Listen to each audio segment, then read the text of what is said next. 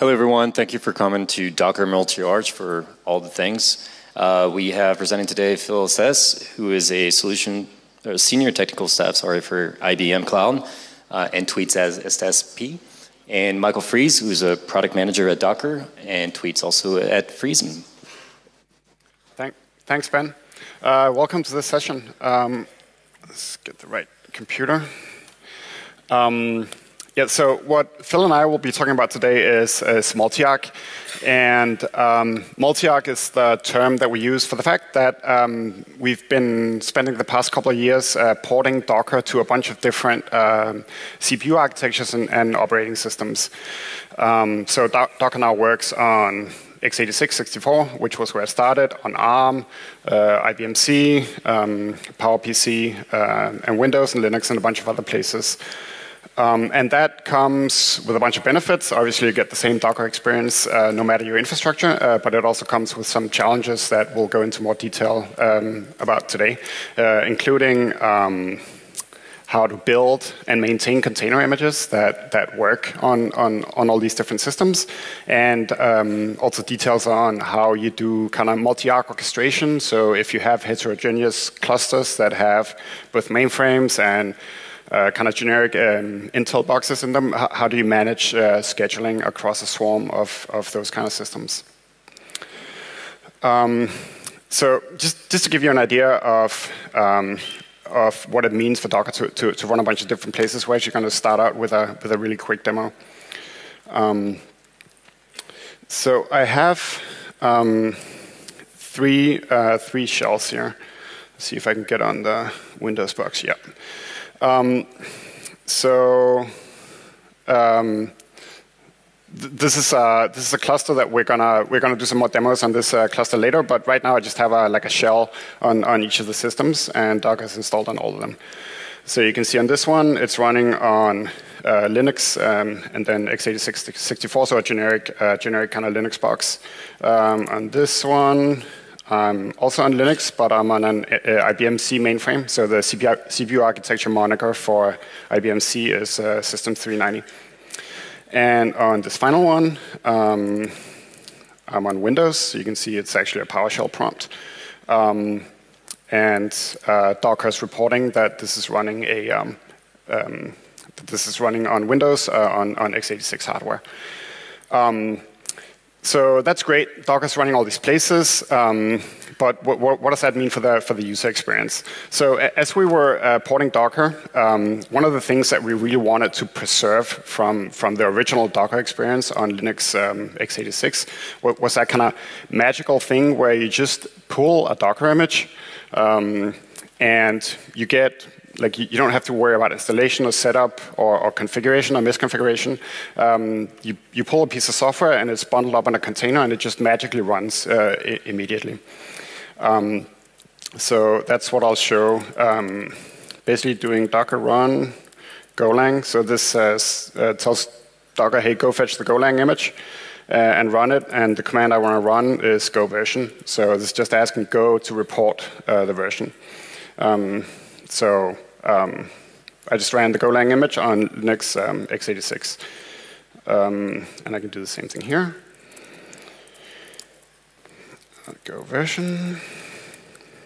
And I have another Go, I have another Go, Go image, uh, but this time um, it's also in Linux, but Go is actually compiled uh, natively for, for S390. And it's finally on Windows. Um, Go version.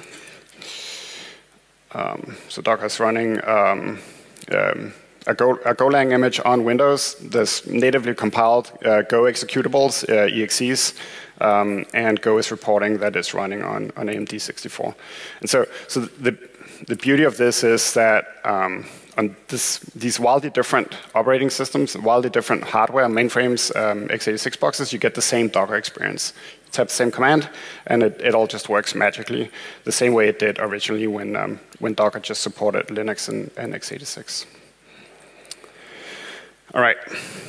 Um, so as I mentioned, this, this came about um, as we've been porting Docker to, uh, to different architectures. So that's um, that's a screen grab of Solomon um, demoing uh, Docker way back in 2013 at uh, PyCon.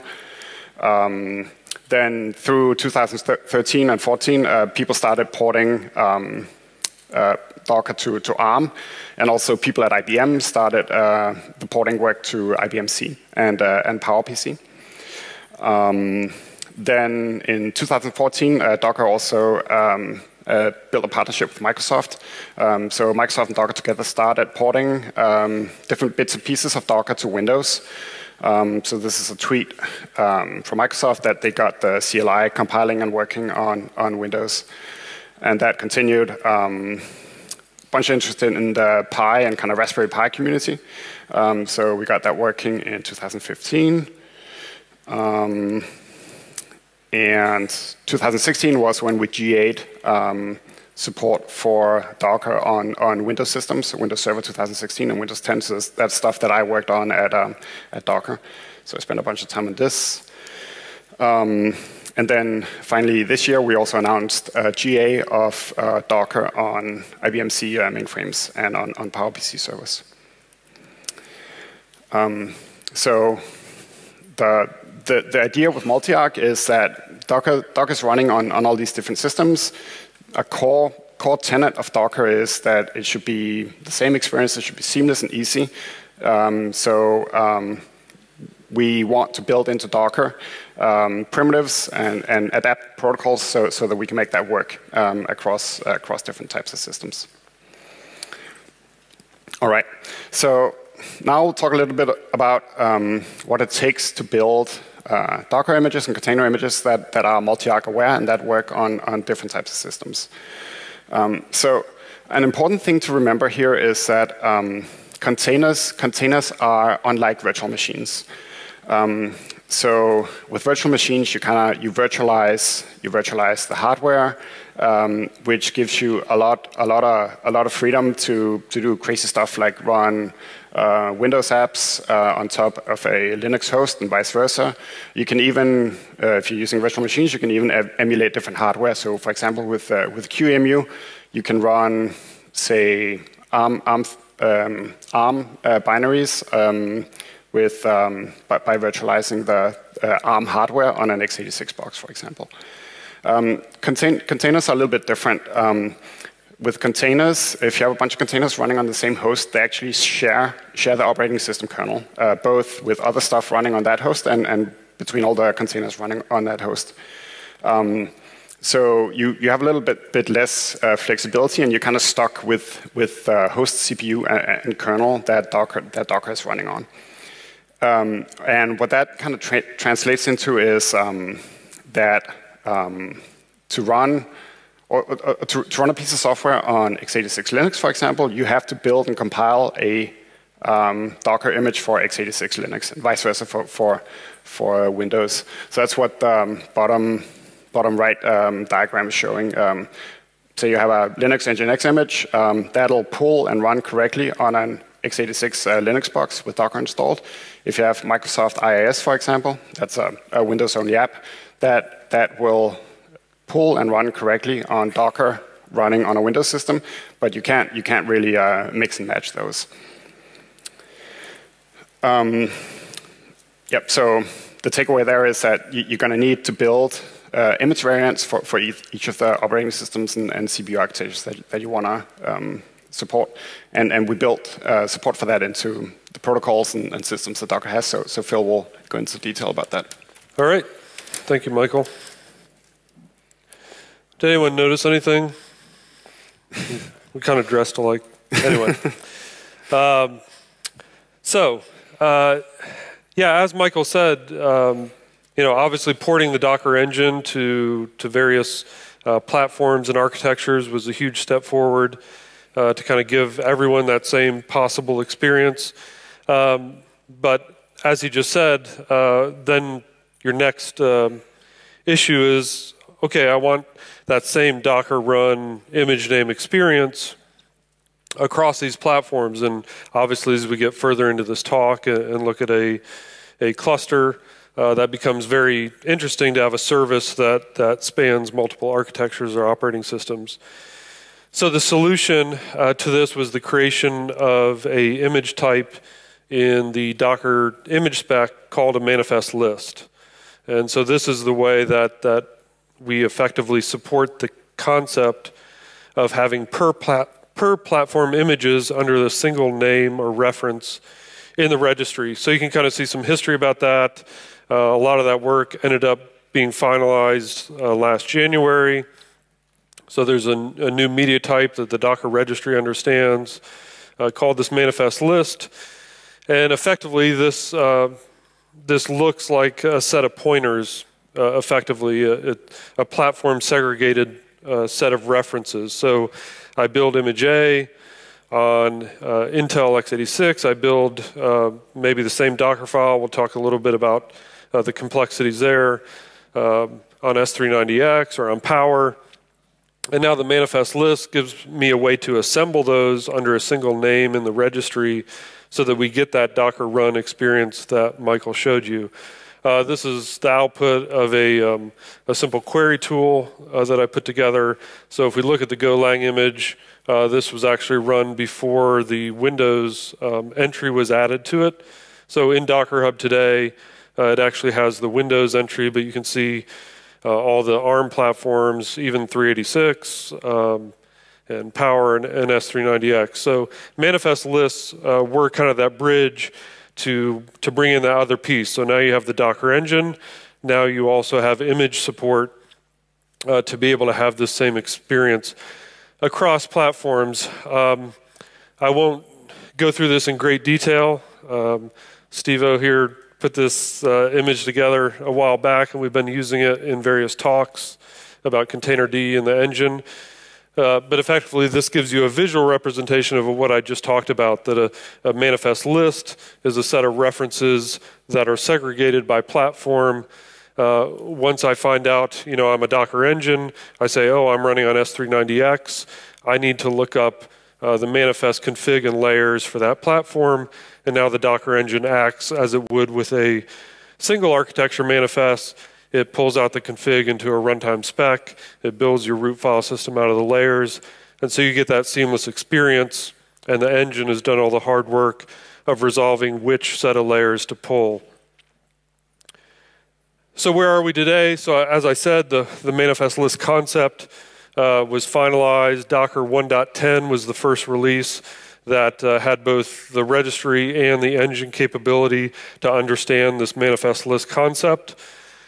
And since then, a lot of uh, people have been working pretty hard to, to put together images um, that use this capability. And so uh, I don't know if anyone saw the blog post or the tweets, uh, but the official Docker Hub images, so it's roughly 130 odd images, uh, for example, Docker pull or Docker run Ubuntu, Docker run Mongo, all these basic official Docker images are now manifest lists.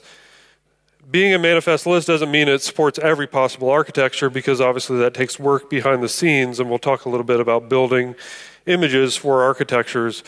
But many of them um, support quite a few architectures. Many of them support five, six, seven architectures. Uh, the .NET Core images are also multi-arch. Uh, Linux Kit, which if you're in here, you're missing a great talk on Linux Kit. If you get bored here, maybe you can run over there. Uh, they have been using uh, multi-arch images for um, a few months as well in their repository, which again gives them this nice ability to use the same YAML to build Linux Kit against different architectures. And, and uh, obviously, there's a lot of uh, ARM community projects around the, the Pi, ARM64, that again can take advantage of the multi-arch capability and are doing that today. So let's do a quick demo. Um, so uh, right before I, I, you know, show that, uh, Manifest tool is something I put together that interacts with the registry with this new object type, the manifest list. Um, this is, in a sense, somewhat temporary because work is happening in the Docker client to add a Docker manifest subcommand, which will uh, do much of the work that Manifest Tool does today. But while that PR is being reviewed and finalized, Manifest Tool is being used in the official image repo to assemble the images with Linux Kit. And so for now, uh, it's one of the easiest ways to assemble a set of images into a manifest list. So what I have, um, that font seemed pretty good for folks, read, readable. Um, so what I have here, um, I have a, few different uh, manifest tool uh, YAML files that uh, basically create, let me show you this, this very simple uh, Go program that basically listens on a port and responds with hello from host. I'm a node running architecture, uh, whatever my architecture is, and an operating system. Go programs are very easy to cross compile, so I have a Docker file that I can easily build out for many architectures. Um, so in my uh, YAML, which I can input to, to the manifest tool, um, I can build you know various assemblies of images. Here I'm, I'm going to call one partial because I don't have all the architectures I care about in here. I have mostly Linux across four different uh, architectures. Um, but when I take this partial uh, YAML file, manifest, and again, I've already built, uh, let me bring that up again just to make that clear. I've already built the files that you see under image for each platform. So the WhoAmI AMD 64, S390X. So I already built those. You could build, we're going to talk a little bit about a CI model for building this. And, and you can actually even look at the official image repos. All the tools they use are open source. You can see how people are assembling these today. Um, so I've already got these, these uh, images. I want to assemble it under the name WhoAmI with the tag partial. So I'm going to run manifest tool push from spec and use this partial YAML. And that will uh, talk to Docker Hub. I'm, I'm writing this to uh, my SSP uh, repo. So that created WhoAmI partial. And at this point, I can actually use this, uh, this nice tool, uh, mPlatform, am I? Sorry, that's under my repo. Who am I partial?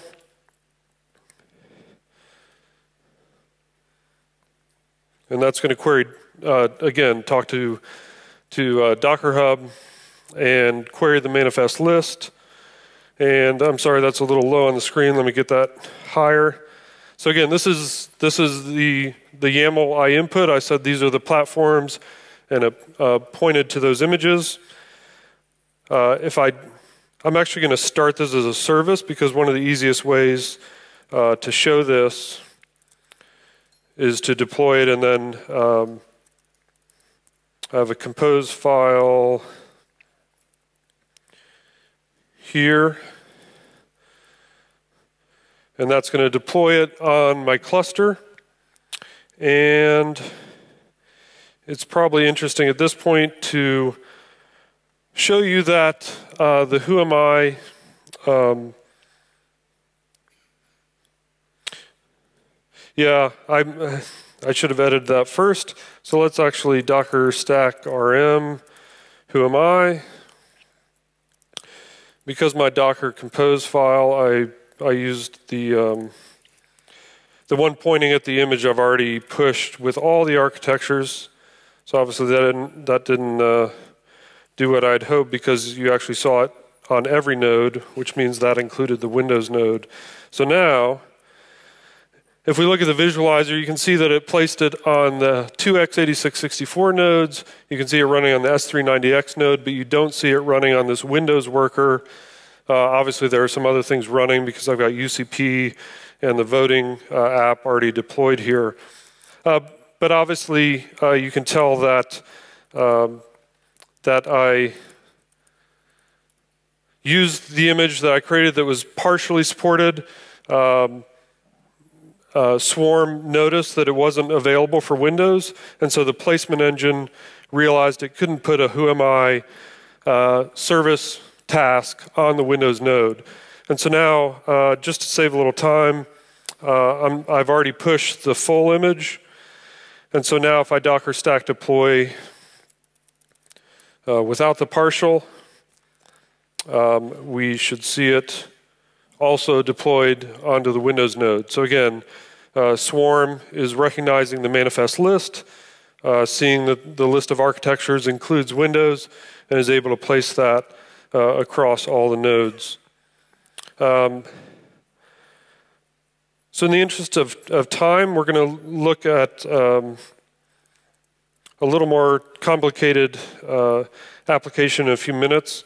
But I think at this point, uh, we'll go on and Michael will talk about Docker file maintenance. Yep. so the who am I example that, that Phil had was uh, uh, super simple. Uh, he didn't show the Docker file, but uh, small pro uh, Go programs are very easy to cross-compile. Um, so it's it's not too difficult to to cross-compile and build that for for multiple operating systems or, or Docker files. But what what typically ends up happening is so if you're familiar with what goes in a Docker file, it's basically a series series of steps that go into uh, building or, or like gra grabbing the dependencies for, for an app and, and, and building it and, and packaging it up. Um, and what you'll generally, generally see is that you can probably share the same Docker file or, or, maybe, um, or very similar Docker files uh, as long as you stay on Linux, for example. Um, the same Docker file will work to compile uh, on different hardware, ARM, x86, um, S390. Um, there are maybe some variations uh, here and there. For example, for S390, you might pull in um, some extra packages to take advantage of, of ha uh, specific hardware. Uh, uh, for different operating systems, uh, for example, for, for Linux or Windows, um, you can write very simple Docker files that, that actually work on both um, uh, uh, Windows and Linux, but typically because like literally the shell on Windows is PowerShell or CMD.exe, and the shell on on um, Linux is, is SH, uh, the commands are just going to be different. Um, so this is uh, this is actually an example I pulled from the uh, .NET Core uh, Docker repo. so on the left on the left you can see the Windows Docker file, and on the right there's a Linux Docker file. You can see on the left there's like PowerShell commands. Invoke web request is the Windows way to do curl, um, and setx uh, setting the, the path and, and stuff like that.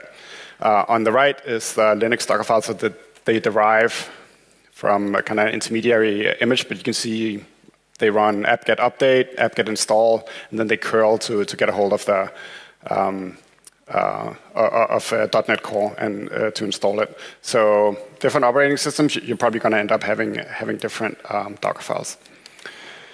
So how does how does multi-arch images get built? Um, uh, that that can be a little bit challenging because remember um, to to run a container for a particular operating system or CPU architecture, you you you have to have a host that has that operating system and that and that CPU architecture. So for example, in, in this case, uh, building for both Linux and Windows, you're going to need both a Windows host at the bottom and a, and a Linux host uh, up top. But the way you can construct it is um, you have a Git, uh, some sort of Git system, GitHub, um, whatever you like. You, you push code there. Um, there's a hook that triggers Docker builds on, um, on, on Windows uh, and, and Linux. And then as each of those builds complete, they push that kind of component OS specific uh, image. So the Windows daemon will push uh, the Windows image, the Linux daemon pushes the Linux image. And then um, you can have a separate step that will invoke the um, Phil's manifest tool to, to create the manifest list that has the two entries for, for Windows and Linux. And then it can push the, the, the manifest list and, and then you have your, your kind of multi-arch image. You can also build or string this together from um, C, uh, kind of free open, uh, open CI systems like, uh, like Travis or AppVeyor. Um, all right, so that covered kind of building and, um, and maintaining uh, multi-arch uh, container images. Um, so Imagine you now have, uh, like Phil had with his uh, Who Am I image, a, a kind of multi-arch image. What, what, do you do about um, uh, deploying that on a heterogeneous uh, swarm um, that is maybe running both uh, Windows and Linux machines or x86 and mainframes in, in the same swarm? Um, so if, if you just have a kind of a, a, um, a, a DOM orchestrator, that it would it might try if it wasn't aware of of architecture constraints, then it might just try scheduling images that in fact only work for Windows or Linux on on um, hosts that don't support it. So for Swarm, um, we spent a bunch of time actually making Swarm um, um, architecture and operating system aware. Um, and the way that works is that whenever you do Docker service create or similar, um, uh, Docker and Swarm actually figures out this this image, what what uh, what uh, CPU architectures and, and operating systems uh, will it run on, and then it uses that as it schedules tasks for that service to so that um, tas tasks are only scheduled um, where, where, where, they're going to run reliably. Um, so that covers kind of the, the automatic uh, scheduling, and, and Phil's going to demo it in a bit. Um, sometimes you're also going to want, uh, even though you have a heterogeneous swarm, uh, you might have multi-arch images, but you actually want to constrain a particular image to a um, um, to, to, a particular set of hosts, like maybe you run or run something super security critical on your mainframe systems. Um, and for that, uh, we also support uh, what's called scheduling constraints, and Phil's going to demo that also. Uh, but it's basically a way to say, uh, for this service, please only run it on Windows, or please only run it on Linux, or, or maybe run it on, on this type of hardware or this other type of hardware. Um, yeah, this uh, just shows um, some of the technical details about that work, how, how that works. Um, so when you do Docker service create, um, Docker figures out what what's the supported set of uh, architectures uh, for, for the image that you're about to deploy. And then it actually, you can see the um, um, output of Docker service inspect over, the, over on the right. It actually makes a note in the service definition of the, the platforms that are going to be supported by this image. And then it uses that as it does scheduling. Um, and then we, in Docker Compose, we have um, support for specifying the, the manual constraints in the Compose YAML file. Um, so Phil's going to uh, demo this stuff now. He's going to demo on the, on the same swarm that I showed uh, three shells on at the beginning of the talk. Um, so we have both Windows, Linux, and, and uh, IBM Z uh, mainframe. All right. So yeah, let's um, maybe take a quick look at that cluster instead of um, the uh, visualizer, we can actually look at it in, uh, in the universal control plane. So again, the dashboard here um, showing um, that I have four nodes in my cluster. You can see the list here. So we have um, IBM Infrastructure Cloud uh, Manager.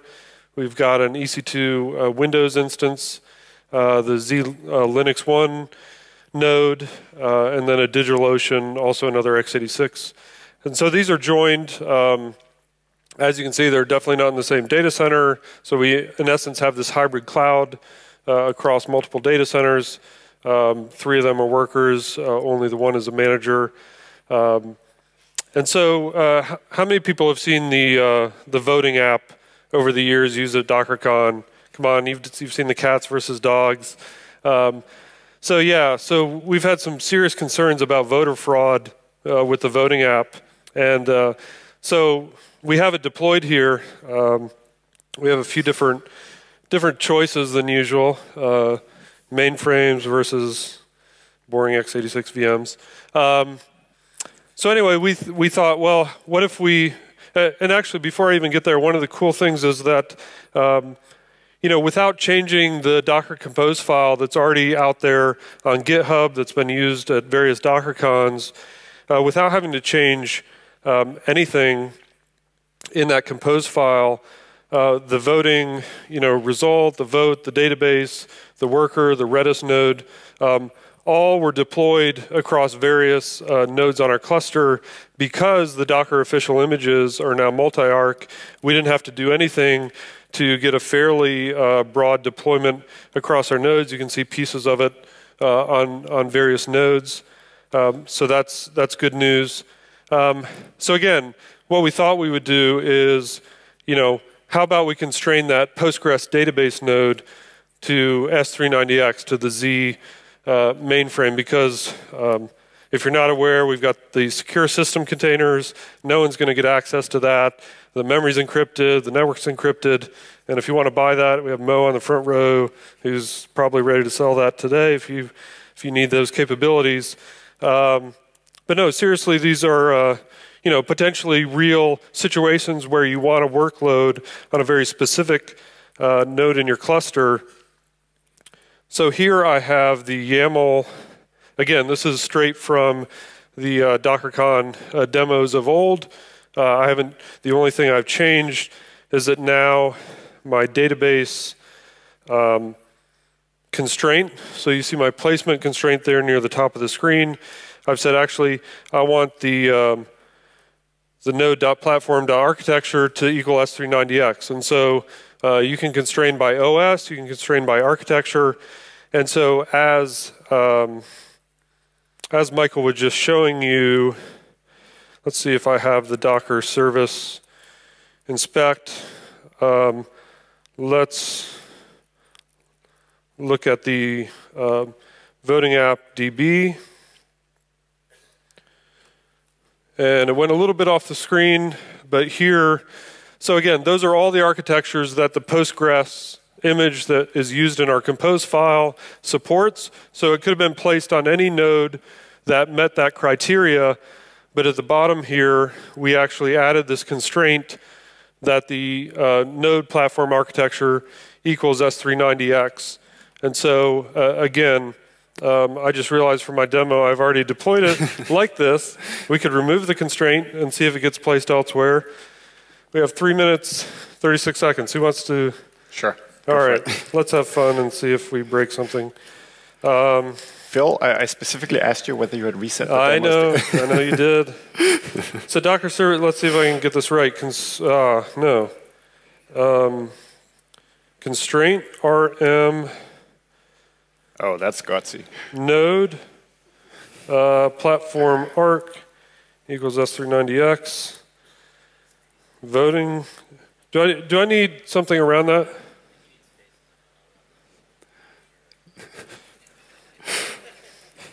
No, this is going to be good. This is going to be good.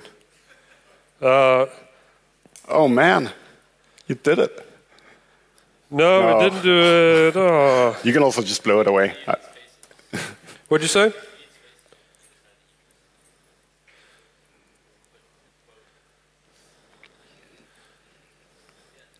This is live demo at its best. Yeah, our constraint's gone. Beautiful.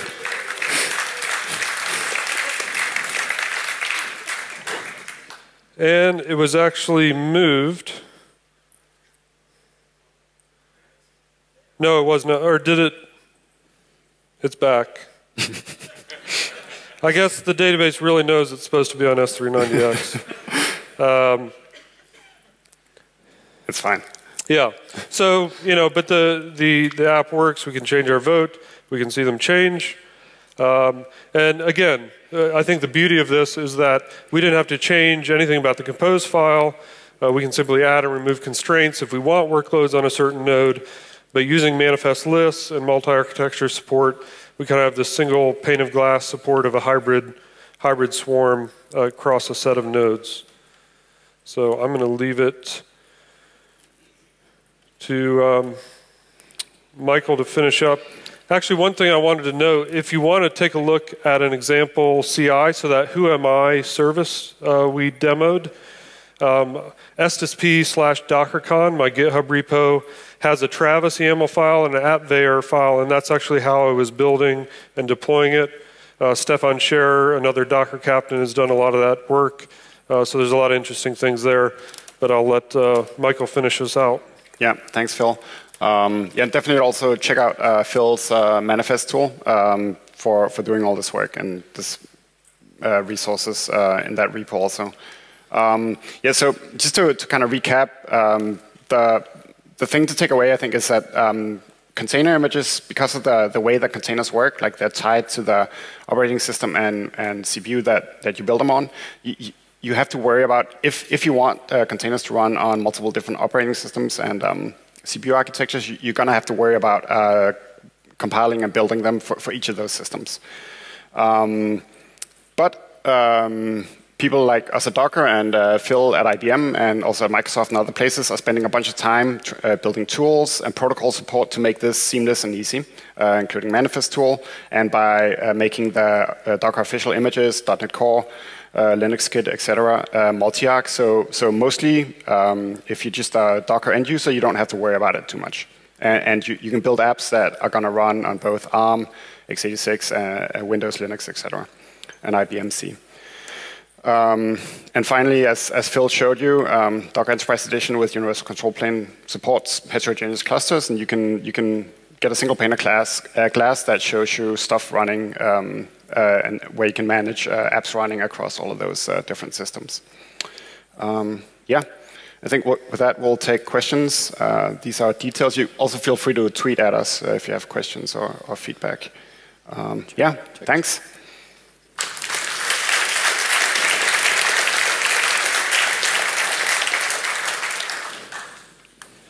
We have four minutes officially, if there are any burning questions in the audience.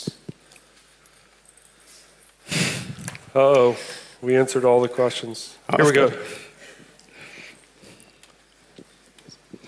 Uh, how constrained are you being by the um, multi-arch capabilities of the things you're trying to containerize?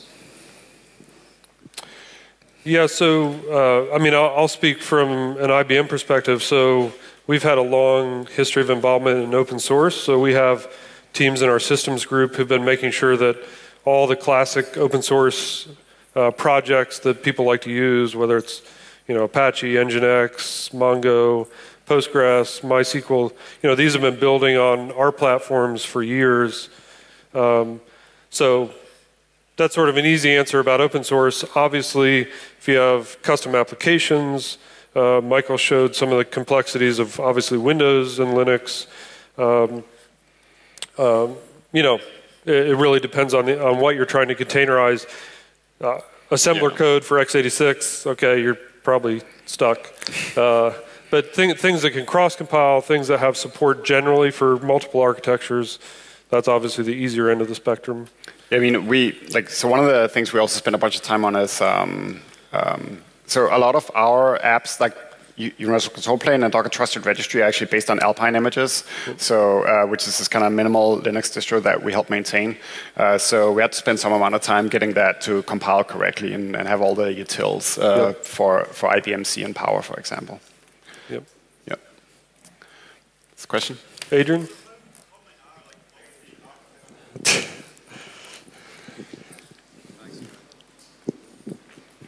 So how common are, whoa, it's loud. Um, so how common are multi-architecture clusters, and uh, do you see them becoming more common?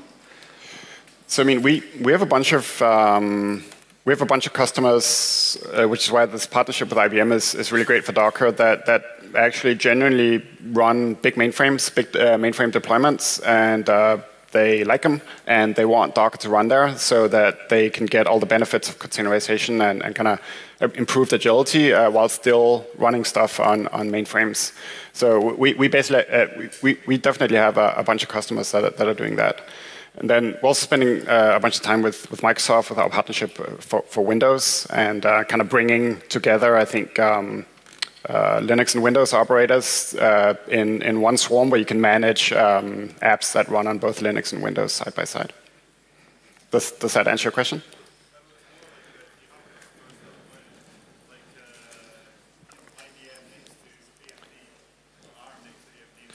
Yeah, we. I mean, at IBM, we definitely have customers. You know, a lot of that. Obviously, that's not public cloud. That's mostly on-premises data centers where they've they've had a traditional workload on mainframe you know, coexisting that with, with Z-Linux. And then they also have, you know, standard x86. So yeah, we've definitely seen that with our customer set. Other questions? All right. All right. Thanks Thank for you. thanks for stopping by.